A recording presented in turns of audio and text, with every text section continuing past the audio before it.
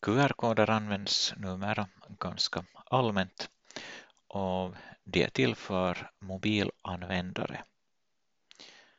Om du alltså vill att man med mobilen ska enkelt och säkert och tryggt få sparat ett telefonnummer, en webbadress, så är det bra att använda QR-koder. Men hur ska jag skapa själv en QR-kod? Gå till Google och skriv som sökord antingen QR-code, eh, generator eller create.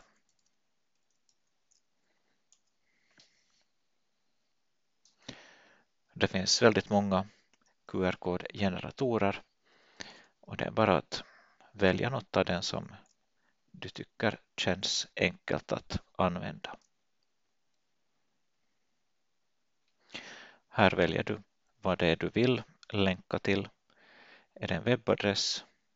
Är det helt enkelt bara informationstext, visitkort, sms, samtalsnummer, plats, händelse, mail eller lösenord till ett wifi-nätverk.